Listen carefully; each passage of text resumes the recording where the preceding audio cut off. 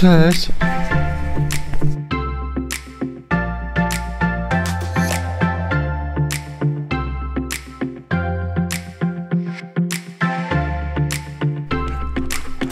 Zrobiła się przepiękna pogoda, ja mam w tej chwili godzinę wolną, moja córka jeździ na koniach i postanowiłem odpowiedzieć na kilka pytań. Parę osób czekało na te odpowiedzi.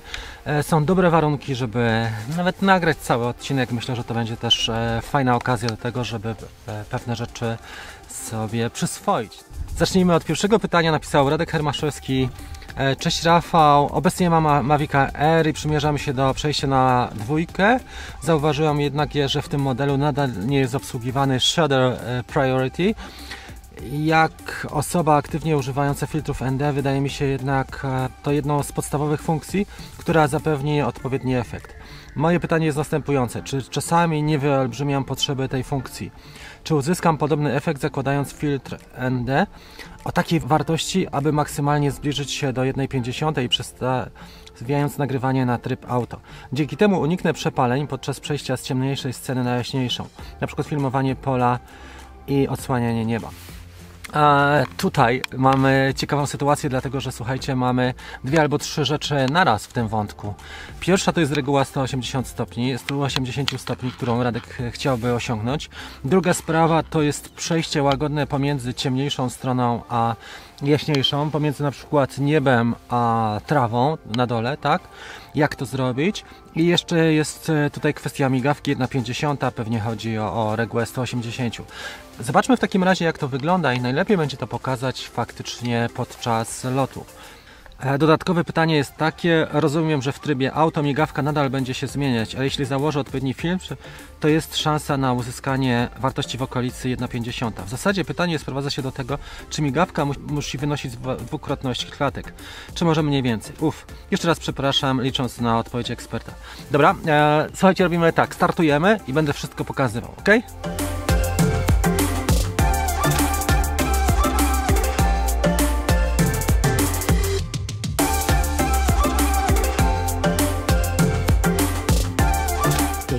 Please check it on the map. Dobra, polecimy sobie teraz ze słońcem. Dobra, jesteśmy y, 25 sekund w tej chwili mija. Polecimy wyżej na jakieś 30-40 metrów i spróbujemy teraz bokiem polecieć. Jesteśmy w trybie normalnym. Najpierw trzeba zadbać o bezpieczeństwo. Tak, tu jest bardzo dobrze. Będziemy mieć ładne widoczki jeszcze chwilę. W każdym razie, tu w okolicy nic nie ma, jest bezludny teren. Obejrzymy sobie ten las. Mniej więcej chciałbym być gdzieś e, 180 metrów, 200 metrów od nas. Ok, i teraz po pierwsze przejdziemy do ustawień. Jesteśmy w trybie wideo, prawda? Wybierzmy sobie wideo normalne. Jest normalne wideo i weźmy sobie wideo w e, 4K. 25 klatek na sekundę, tak jak chcieliśmy. I to są nasze ustawienia. Wideo normalne, 4K, 25 klatek, nie używamy zoomu, nie robimy właściwie nic teraz e, takiego bardzo wymagającego. Ok, i teraz popatrzmy tutaj na dół. To co mamy e, to jest tak. Tryb automatyczny, blokada ekspozycji nie jest aktywna, w tej chwili ją aktywowałem, w tej chwili jest nieaktywna. Kompensacja ekspozycji na poziomie 0 i czas, który możemy nagrywać w tej chwili to jest e, 13 minut, tak? Dobra, lecimy w takim razie, to co będziemy robili, to zobaczymy sobie co by się stało, E, Gdybyśmy chcieli osiągnąć e, w tym momencie e, ustawienia manualne i regułę 180 stopni. Przerzuciliśmy na manualny tryb. Mamy e, dwie działki przysłony, przynajmniej prześwietlony obraz. Shutter 1,50.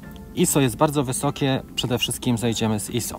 I teraz zobaczcie co się stało. ISO setka, Shutter 1,50 jest za ciemno. Tak, czyli nasz filterek jest w tym momencie za mocny, więc trzeba migawkę e, albo wydłużyć, albo przylecieć tutaj. Możemy też zrobić inną sprawę, a mianowicie ISO podnieść na 200. W tej chwili będzie nam najłatwiej, tak? I już zaczynamy się łapać e, w taką sytuację, że jesteśmy w trybie manualnym i kręcimy się w okolicach naszej reguły 180 stopni. Ona jest potrzebna głównie wtedy, kiedy chcemy zarejestrować ruch, e, czyli e, filmujemy obiektyw ruchu i chcemy uzyskać rozmycie. Natomiast jeżeli mamy taki widoczek jak tutaj, to właściwie muszę powiedzieć, że ta reguła 180 stopni ona tutaj nie jest za bardzo potrzebna, bo i tak mamy e, praktycznie krajobraz e, bez ruchu. Spróbujmy się obrócić, zobaczmy co się e, wydarzy. Teraz e, nasza ekspozycja e, wzrosła, tak, jest prześwietlony o 0,7, teraz 0,3, teraz jest neutralna, także widać, że się zmienia to. I faktycznie, zostawmy sobie na chwilę może w tę, w tę stronę.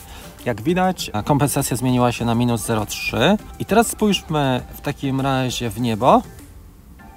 Prześwietlenie o plus 1,3. Spójrzmy w dół. Możemy to zrobić też e, w ten sposób.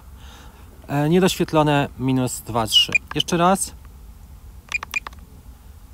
Spójrzmy przed siebie. 0, patrzymy w niebo. Plus 1 nawet, plus 1, 3. Dwa razy w dół, minus 2, 3.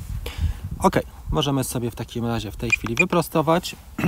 I teraz sytuacja jest taka. W ustawieniach manualnych powinniśmy ustawić tylko jedno konkretne ujęcie. Jeżeli chcemy latać długo i stosować manualne ustawienia, trzeba będzie za każdym razem korygować ekspozycję. To nie jest ustawienie na cały czas. So, in between the time of your initial exposure reading on the ground, maybe you're flying for a little bit, there's a good chance that lighting might change. So, you do need to monitor your EV. And if you see that swing either to plus one or minus one, you need to do something quick. Zajdziemy teraz na ISO 100. Jak widać jest niedoświetlony obraz, więc e, prawda jest taka, że nie ma idealnego rozwiązania. Można by tutaj filterek zastosować czwórka, bo jest trochę ten e, za mocny, ale jeżeli zmieniać ujęcia, to trzeba przestawić ustawienia na automatyczne i zablokować ekspozycję.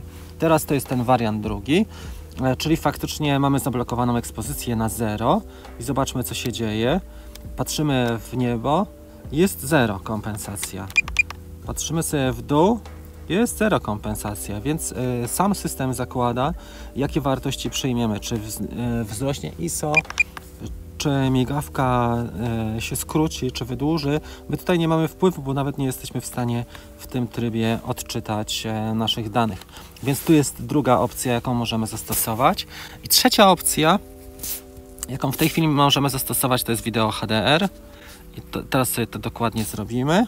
4K wideo HDR. I tutaj, jak widać, nie mamy zupełnie wpływu na ekspozycję. Ale podsumowując, jeżeli chcesz dokonywać wielu zmian podczas lotu, faktycznie powinieneś zablokować ekspozycję w trybie automatycznym i wtedy masz e, spokojną głowę. Jeżeli chcesz regułę 180 stopni osiągnąć i ją zachować, to powinieneś się nastawić tylko na jedno konkretne dane ujęcie i to wszystko. I tak to mniej więcej wychodzi. E, też e, ważne jest, żeby w postprodukcji pewne rzeczy wyciągnąć, na przykład cienie mm, podnieść, bo widzimy, że tutaj mamy niebo dosyć jasne, a cienie są ciemne w tym ujęciu. Niewiele zrobimy tutaj oprócz tego, że możemy założyć na przykład filterek gradientowy albo lekko zdjąć ekspozycję po to, żeby faktycznie mm, co zrobić, żeby faktycznie można było później w postprodukcji, czyli zablokujmy sobie ekspozycję na przykład na minus 0,3, żebyśmy mieli pewność, że nie prześwietlimy tego nieba. Możemy polecić na przykład tak, na wprost. Teraz nagramy i teraz postaram się pokazać, jak to wygląda w pierwotnym wykonaniu, czyli podczas naszych ujęć, a następnie zrobimy sobie to samo ujęcie w postprodukcji.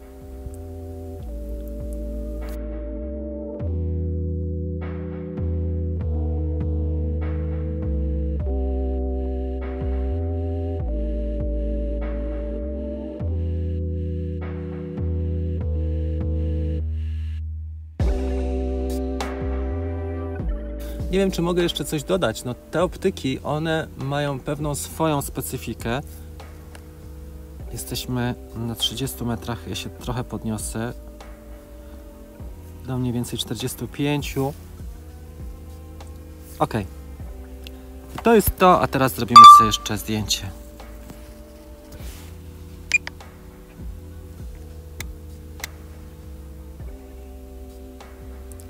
Zdjęcie chciałem zrobić tak centralnie w połowie, ale tak, żeby też słońce było. Tak? Trochę się obniżymy. Możemy się tu obniżyć dość sporo, żeby być tuż nad drzewami. Ok. Dobra. Teraz wykonamy zdjęcie smart. Dobra, mamy to. Także wnioski są takie, jeżeli chcesz strzelać w manualu, to musisz się nastawić tylko na jedno ujęcie, na dany kierunek, a następnie skorygować ekspozycję. Jeżeli chcesz robić e, szereg różnych, nakręcić e, szereg e, różnych ujęć, ze zmianą wysokości, ze zmianą kąta gimbala kamery, e, ze zmianą kierunku, to wtedy można zablokować ekspozycję, to jest najlepszy sposób. Trzeba pamiętać o tym, że to są też małe optyki i to też nie jest e, tak, że za 4000 zł dostaniemy drona z super kamerą typu Arri Alexa, ale już coś jesteśmy w stanie powoli, powoli z tego wyciągnąć. Pozdrawiam Cię bardzo serdecznie i mam nadzieję, że trochę chociaż wyjaśniłem tą sprawę. Trochę inaczej ma się sprawa na pewno w Mavicu e, 2 Pro, bo tam mamy faktycznie mm, priorytet e, shadera, czyli migawki, ale to już jest bardziej zaawansowany system i uważam, że nie zawsze jest też tak e, super potrzebne, wiadomo. Szczególnie jest potrzebny wtedy, kiedy filmujemy ruch. Jeżeli nie filmujesz ruchu, wcale ci to nie jest potrzebne. Ok, zobaczymy jak to nagranie wyjdzie w postprodukcji. Teraz mam blokadę ekspozycji na minus 0,3 i to wszystko co zrobiłem. Nie mamy specjalnego ruchu, nie ma co rozmyć, więc niezależnie od tego jaką tu osiągniemy migawkę, efekt będzie podobny. Ok, słuchajcie, my tutaj już mamy RTH. Ja nie powinienem w ogóle używać RTH, więc wylądujemy ręcznie. Natomiast to, co chciałem powiedzieć, dziękuję serdecznie za uwagę. Jeżeli podoba Wam się taka konwencja, e, to prośba o komentarz, o łapkę pod tym filmem w górę i też o subskrypcję, jeżeli Wam to odpowiada. Do zobaczenia. Cześć. Milena pojeździła, ale konie nie słuchał, nawet skończyła wcześniej niż się wydawało. E, słuchajcie, pogoda jest średnia, polatałem trochę nad lasem i było naprawdę nie jest źle, dlatego że te kolory zaczynają się, ale trzeba zrobić tutaj faktycznie ten las jak jest słońcem. Wow. Cześć! Co tam wujek? Wow, ale jesteś dzikus, co?